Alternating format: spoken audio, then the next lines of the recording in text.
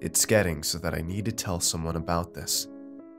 I'm posting it here to limit my liability. I mean, it makes sense, right?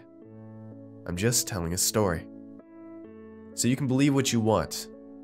I know what I know to be true. And that's good enough for me. Actually, it's not really true. I don't know what's true or what I believe anymore.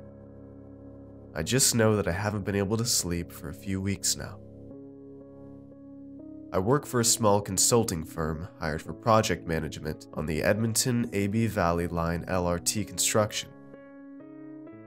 I was happy when our company was awarded the contract, but with what I know, I wouldn't accept any amount of money in the world to do this job now. I should give you a little background. I'm a third generation Edmontonian. My grandfather originally moved here from St. Paul as a child in the 30s. My dad owned a successful development company. And when I graduated from the U of A, I took over the project management wing. Again, we were a small in house company. So when we were tapped by the city of Edmonton to undertake the very large infrastructure project that was expanding transit, we were ecstatic. I should also note that as a lifelong Edmontonian, with roots going back here in this city, I know that thing is not supposed to be there. Everyone knows it's not supposed to be there. March 15th is when most people found out about it. A concrete mass the size of a car under the riverbed in the path of the Tawatinâ Bridge that is being constructed. Our press release would simply focus on any future traffic delays based on having to prolong our operation hundreds of thousands of people hearing the news and going, hmm, well, that's interesting. They're all assuming that finding random things underground is normal when you're excavating to build a bridge. They're assuming we have all that under control. But what if it was different? If we uncovered a mass grave, would it make people wonder what it was doing there? What if we uncovered an unexploded bomb or a dinosaur skeleton, or a treasure trove of ancient artifacts. What would it take for people to look up from their Tim Hortons and ask, What's that doing there? It was actually the 12th of March we found the thing. It took us almost a week until we decided to let on to the general public what we had found. And even then, we didn't say much about it. Monday, March 12th, 2018. It was Monday morning. I dropped my kids off at daycare, was merging onto the Henday Freeway from Sherwood Park when I got a call from Bill, who's on the dig site. Pete, I need you on site. I could sense panic in his voice. I was concerned there'd been a workplace accident. I was just heading to my office. What's up? I told Bill, speaking louder than usual so that my voice would be picked up by the Bluetooth in my truck. I don't know how to explain this. I'll just have to show you when you get here. He paused for a second. Get here quick, he added, before hanging up. I felt a sharp flash of pain in my bowels. Since I had taken on this project, I'd been experiencing it more and more. I rushed to the side and jumped out of my truck, meeting Bill in the staging area. What? What is it? I pleaded when I walked up to him. He was with some of the agents from the company that we had hired to do the cofferdam work. They were poring over reports and drafts. I don't know how to explain this, but we found something in the riverbed. He shrugged and started leading me toward the bank. Uh, okay. What? I thought. I thought he was going to say it was a body. That's all we needed. Some sort of murder investigation to tie us up. I mean, it would be sad for the victim and everything. But all the companies involved would have to pay a penalty if the completion deadline was extended. It's a body, isn't it? Fuck, I knew it. I ran my hand down the side of my face. No, it's not a body. It's a big slab of concrete. He shrugged again. I looked out over the water and back at him. I don't see it, I said dumbly. It's in the riverbed right where we're supposed to be constructing one of the supports. He put his hands on his hips. This was worse news than if it was a body. It was sure to delay construction. Can we take it out? I said, hoping that the simple solution would be all that was required to rectify the situation. No, no, we can't take it out. It's too big. It'll mess with the cofferdaming and it's below the actual riverbed itself. So if we pull it, it'll create a sinkhole. He began walking again, and I followed him into his office in a rundown modular trailer. How long is this going to take us extra? I moaned. Well, we can incorporate it into the structure. That'd be the easiest solution. He pulled out some papers and thrust them in my direction. Great, let's do that then. I smiled, shit eating grin and everything. There's something else though. Okay. I hated how cryptic he was being. At this point, I just wanted to cut to the chase and tell me how much it was going to cost, and how much more work I'd have to do because of it. It's not on any of the geotechnical reports. It's not on any technical drawings. I consulted with our engineers, and they say it's not even on historical drawings. No one remembers anything ever being there. He motioned at the papers I was holding. I rifled through them. Huh, you're right. I placed the papers back on his desk. And that was my reaction. And that's why I say, what would it take for you to have heard this story more than in passing? More than just that five or so seconds, you think, oh, well, that's odd. That's what I thought. It was odd. Nothing more, nothing less. I didn't question why there was a block of concrete under the North Saskatchewan riverbed. A man made block of concrete that wasn't on any technical drawing, that wasn't in any history books. The river that had estimated begun flowing through this area 2,500 years ago. A river that carried countless indigenous people over the centuries. That explorers first sailed down in 1760. That the original ford was constructed next to in 1795. That hosted a town and then a city thereafter a river that never had anything built where a concrete block the size of a car was now under the riverbed. That none of the people in history that I just mentioned ever noticed. A man made, giant concrete block under the river where nothing had ever existed before. I didn't question how it got there. I was just thinking of how much money and time we needed to spend on it. It wasn't until Bill said the next thing that I questioned it. It's making a sound, he suggested. What is? I thought he was talking about his laptop, which he was turning toward me. The big block. It makes a sound. He opened up a file from his email. We had some industrial divers down to survey it. Shit got weird. He kind of chuckled, but that didn't hide the pensive look on his face.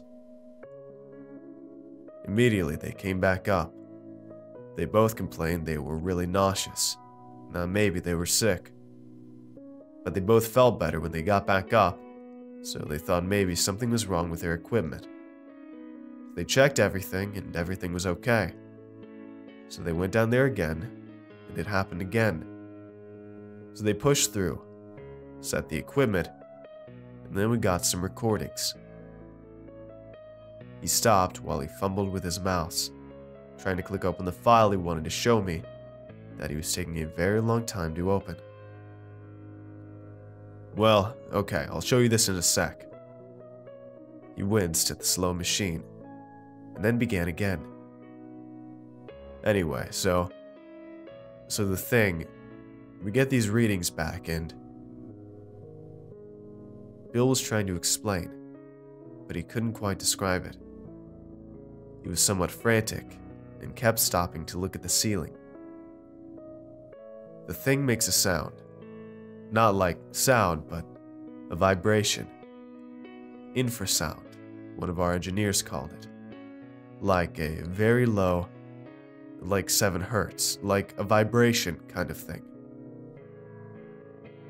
He turned back to his computer, cursing it out. I should say it is not uncommon in construction and engineering for stationary objects to vibrate at some sort of frequency. In fact, the example I can tell you about without getting into too much technical detail would be the example of a suspension bridge begins to undulate in a wave. And of course, any sort of vibration like that would create a sound. And sometimes these vibrations create larger and larger vibration.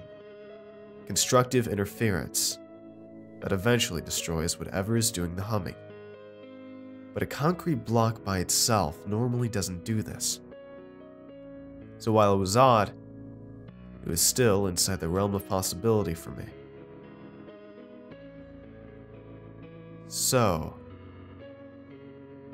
I didn't know where he was going with this. I was a little taken aback, but I wasn't still completely convinced the problem was worth more than considering just the amount of money and time to fix it. So, Bill started but was interrupted by an extremely loud noise. His computer had started playing the sound file he was trying to open, and it caused an intensely loud low distortion to come through his speakers, which were full volume. I clutched my ears, and then my stomach as it began to instantly hurt. He clicked furiously to turn it off. That's the noise? I yelled over the buzzing. He kept clicking to close the file, but it wouldn't close. I can't. He fumbled around desperately. I instinctively reached for the connection for the speakers and violently yanked it out. We were both standing there, panting, nauseous. Bill looked embarrassed. We both sat back down and exhaled deeply. I still didn't know what to say about it. We both sat in uncomfortable silence. I was waiting for him to tell me more, but I realized he didn't know any more than I did. And I was the project manager. He was expecting me to have an answer or a solution. Um, I began, not really knowing what I was going to say. But I had to say something. So the engineers can't take it out. I confirmed. He nodded slowly. It's, uh, loud? I wasn't getting anywhere. Bill began to shuffle the papers on its desk into a neat pile. Did the structural engineers say anything? I said, looking out the window. It had been a foggy morning, but the sun was peeking out, a grayish yellow hue settling over the river valley. They're doing a report on it, Bill kind of mumbled. I began to rise from my chair, eager to get out of the trailer and back to the safety of my office. I thought, maybe, the answer would come to me. Or maybe it'd resolve itself. Or maybe the engineers would come back and say it was no more difficult than extracting a tooth. And maybe they would say the humming was some natural phenomenon. And maybe they'd say the concrete got there from some mistake when they were originally putting up the Clover Bar footbridge that we had demolished to make way for our construction. Maybe it wasn't that there was a man made concrete block under the riverbed that had no history and was making a noise. Tuesday, March 13th, 2018. The next morning, I lifted myself out of bed the sound of my alarm, morose and heavier than the sum of my parts. I dragged myself around the kitchen as if I was a marionette hanging from strings while I fed the kids and got them ready for daycare. I hadn't slept well. I kept worrying about the block, the practical items, the cost, the time, the liability. Then, the impractical. What was it doing there? Why was it making a sound? Then I had fallen asleep only an hour or two before my alarm was to go off. Dreaming I was standing on the riverbank while black clouds covered the sky. In the river, I could see a light. It was the block, glowing an intense gray light, like sun through clouds on a bleak day. And the hum it was emitting was pulling me toward it like a magnet. I walked into the water, and I could breathe underwater. And the cube pulled me towards it, and I became part of it. And when I was part of the cube, I was a part of the earth. And there was an intense sadness in this image of emaciated people all in perfectly formed lines, wearing what looked like gas masks, but otherwise naked. And they were I don't know how to put this. You know in a dream when you just know something to be true? They were all facing an imminent death, and it wasn't a comforting release, move on to the afterlife type thing. It was a violent death, and there was this intense fear everyone was feeling. I drove in a haze, on autopilot. One of those drives where you're a little shaken when you get to where you're going because when you get there, you can't remember any details about how you drove there. What if you mowed someone down? I walked back toward the bank, donning my hard hat, to Bill, who was again speaking to a group of planners and pointing out something to them in the drafts. He let them go, and then he had me follow him into his office again. I called you six times he said, frowning. I looked at my phone. There was indeed six missed calls. I somehow didn't hear over the course of my night hours. Oh shit, I'm sorry. I began apologizing profusely. He waved it off with his hand and started. So, we got the engineering report back. They're trying to say maybe there's something wrong with the equipment, or its background interference, or one of the machines operating in the vicinity caused it, or whatever, Bill said, creating a space through his closed Venetian blinds and peeking out toward the river. But you don't believe that? I said slowly, trying to read him. It's getting louder, Bill said. I snorted by accident. What do you mean it's getting louder? I tried to sound as serious as I could. I began to think this was some sort of very early April Fool's joke. It's louder. I can hear it. I couldn't hear it before. Then yesterday evening, at about 7 p.m., I was in here working on some things, and I swear I could hear it. He resumed peeking suspiciously through his blinds. I felt like either this was a big joke, or he was losing it. Bill, you know, you've been working pretty hard. I started. He snapped back quickly and curtly before I could finish my sentence. I know I can hear it. This fucking thing. Whatever it is.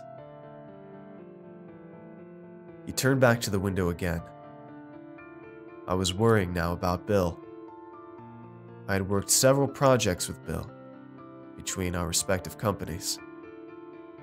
I had met his wife, his children. We had times where we saw each other more than we saw our own families. I'd never known him to be this way, but I was wondering if perhaps I didn't know him as much as I thought I did. What do you think it is? I said slowly. Bill sort of snapped out of it. He turned back towards me and slumped down at his desk.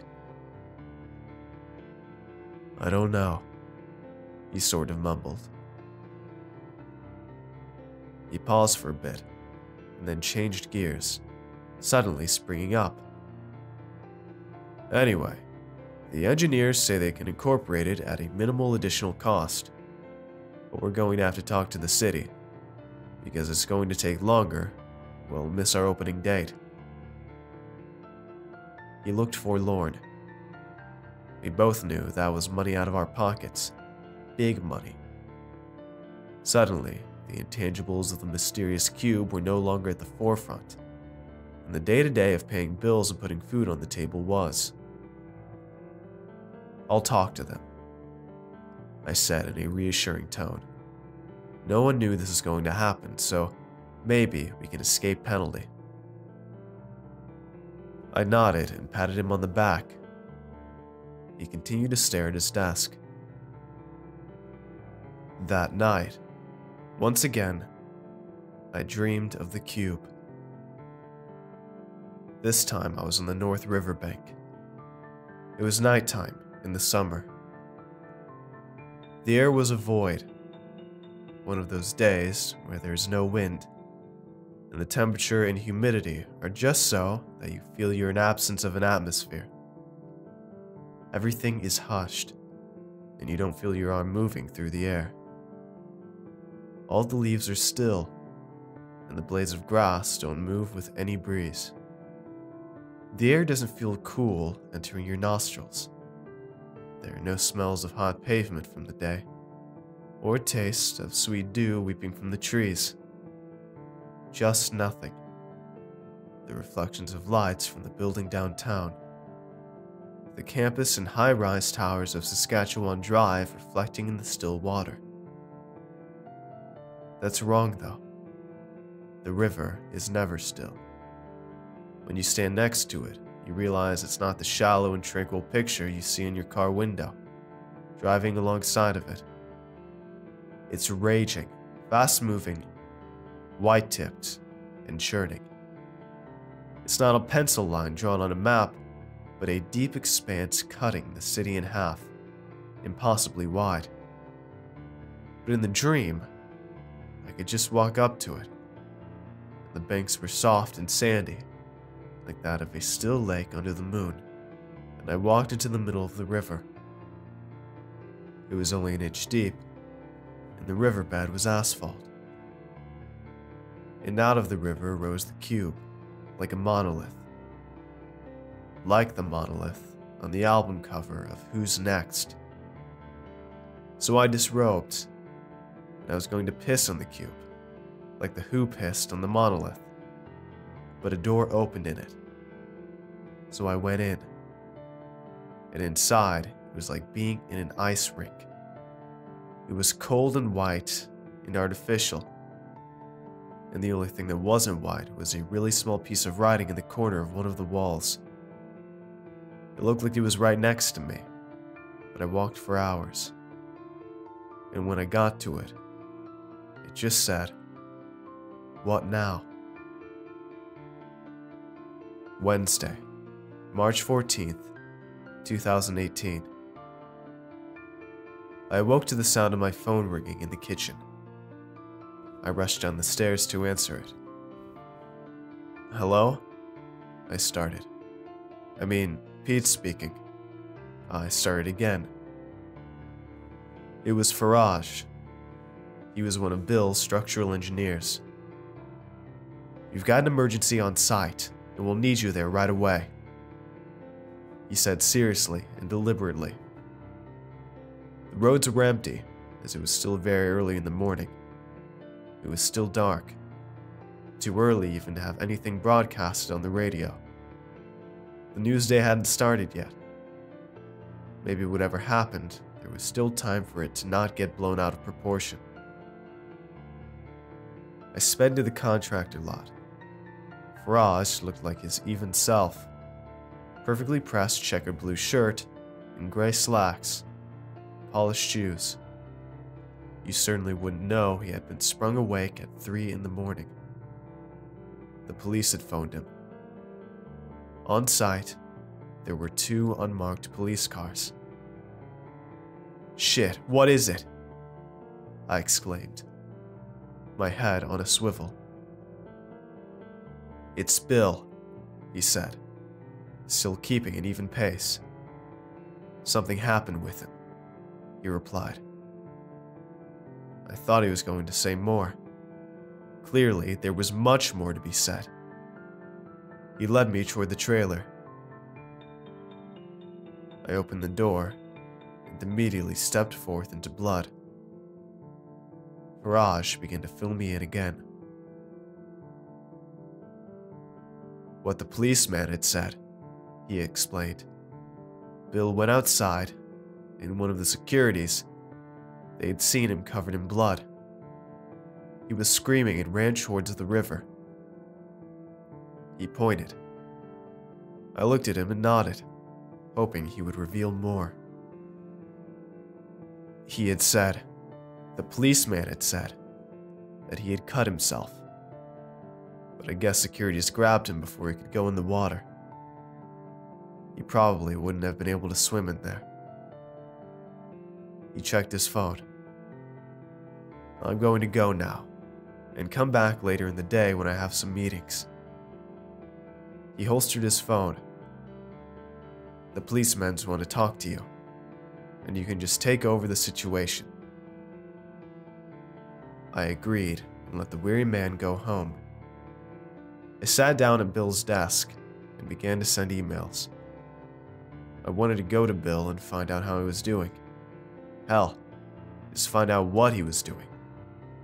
But professional responsibility came first. Emails to everyone in public relations and human resources in terms of not releasing statements to the media. Emails to Bill's colleagues about who's going to liaise with me regarding our responsibilities together. Emails to the company that had the proper PPE to clean up blood. Workers were already arriving on site in the morning. Randall came in. He was second to Bill to take his place. I told him he'd have to work in a different room. The essence of Bill was still all over the floor. Finally, at quarter after nine, I was able to sneak out to drive to the hospital. Bill was bandaged behind a curtain and sedated. I walked in, and he closed his eyes tight. He wouldn't look at me, perhaps ashamed. I sat down next to his hospital bed without saying a word. It wouldn't stop. His voice cracked. It kept showing me things. He breathed deeply and sighed. He began again. It kept showing me everyone was going to die. It wanted me to do it. He coughed. Wait, Bill, what was it showing you? I became alarmed. I don't know, man, just death. Just everyone dying. I can't explain it. I saw people. I didn't see them dying, but I knew they were dying. I knew they were going to die. He gasped. I was reminded of my dream from the other night. Bill, what do you mean it wanted you to do it? I grabbed his arm. I began to squeeze a little too intensely. He pulled away from me. I don't know. I don't know. I just felt like he was pulling me toward it. And I don't know, I just knew. I knew if I went in there, it would cause everyone dying. And I couldn't stop myself. I tried to stop myself. I thought if I ended it, then I couldn't do it. But it stopped me, and it pulled me, and I had to go. He began weeping. I felt my face burning. I felt butterflies as if I had driven over a dip at speed. A horrible sinking feeling that something was terribly wrong that was much larger than me, or the crew, or the city, or anyone in the world. Bill grabbed my shirt cuff. Tell me I'm not crazy, he wept. I, uh. What did I say? He was? I was? We both were? Or much more terrifyingly, neither of us were. And there was a cube under the river that was leading us to our destruction. I gotta go, Bill. I darted out of the hospital room. When I arrived back at the site, the restoration crew had just finished cleaning Bill's office.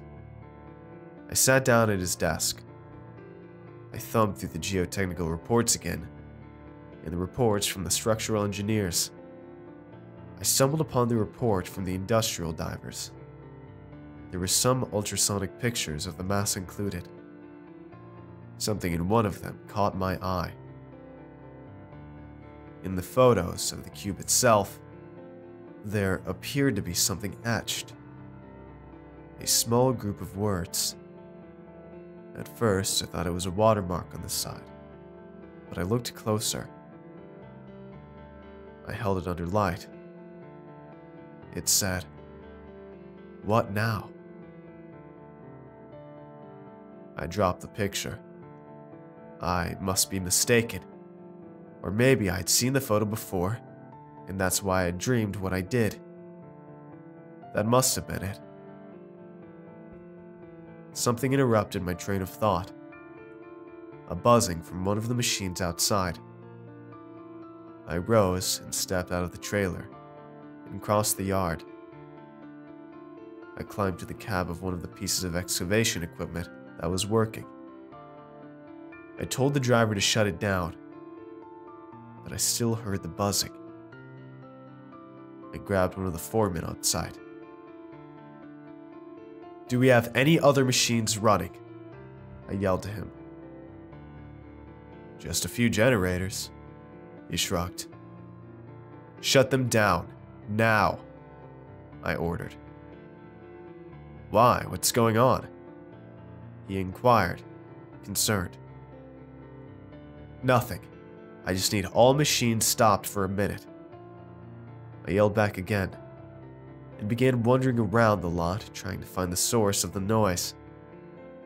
All machines were off. Still, I could hear the buzzing. It was coming from the river. It was coming from the cube.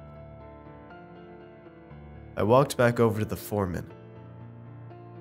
Do you hear that? I yelled. He shrugged. I ran back into the office and closed the door. It was getting louder, but not for everyone. I didn't want to meet the same fate as Bill, so I let the crews resume work and promptly left to go home early, faking illness. That night, I tried to stay up indefinitely. I didn't want to dream of the cube. I left my bedroom and crept into the living room. All was silent. I sat sipping coffee on the couch. I tried to surf the internet to keep myself awake. I fell asleep. I dreamed I was in the desert. I was walking, not knowing where I was going, not knowing where I was. I stopped, and as I looked down, I noticed something. It was a tiny cube. A tiny cube of concrete. I held it in my hand, and it was smooth and cool. Suddenly, it started to grow. Buildings rose up around me, cities, landscapes. The cube became too heavy, and I dropped it. I was standing in a small stream. The stream began to grow with the cube, as the cube was sinking in the stream. Then it was too heavy and sunk to the bottom. The river and the city continued to grow, the cube growing heavier and then sinking down below the riverbed. I was somewhere floating above it all, and I felt this great misery that I had dropped the cube. I felt like I was supposed to hold on to it. I felt like a failure. I realized I was every person on Earth, and I had failed this thing by dropping it. The cube, which I could somehow see below ground, turned red, and he was angry. I came to know, as you do in dreams, that if I had killed myself, if I had killed humanity, it would be satisfied again, and the cities would go away, and it would just be a small cube in the desert again. I wouldn't do it, so it became angry at me, and it hummed louder and louder until I woke up to my alarm. Thursday, March 15th, 2018. I drove to the worksite and began preparations for the media. All we were telling them was that there'd be more traffic delays. Of course, because that's all people care about. Not where the fucking cube came from, or why it's there, or the fact that it's humming and wants to destroy us all. Just the fact that the bridge will take longer and it will mean more traffic delays. The public went, hmm, that's interesting.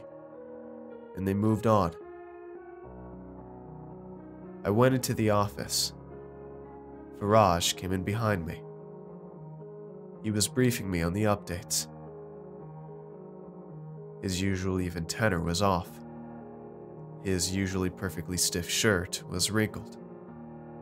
He was sweating, and he had bags under his eyes. So they'll start work to incorporate it into the bridge structure. He spoke quietly. Faraj? I looked into his eyes.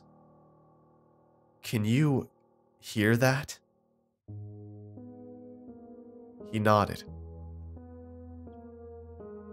And the industrial divers, and some more of the crew. And it's getting louder, he added.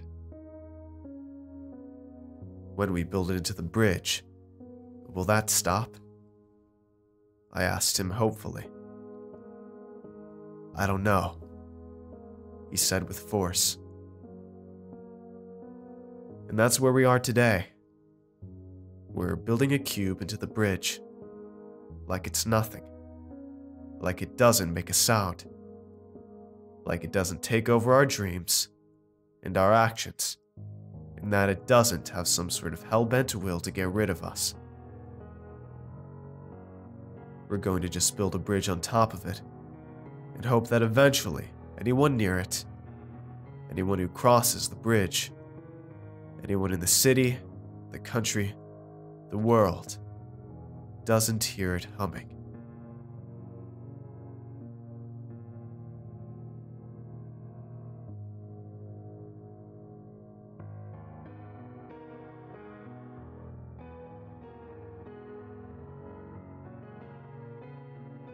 Hey everyone, I hope you enjoyed today's video. If you want to see more, let me know in the comments below, and tell me what you thought of this narration. Make sure to follow me on Twitter for updates, and if you'd like to get early videos, shoutouts, and much, much more, I'd appreciate it if you check out my Patreon page. It's a place where you can help support my channel while getting awesome rewards in the process, and every pledge helps out a ton, no matter the size. So if you'd like to see all the rewards I offer and consider becoming a patron, it'd mean a ton to me if you'd click the link in the description and just check it out. And don't forget to show some love to the amazingly talented authors who make these narrations possible. Have a good night, everybody. Cheers.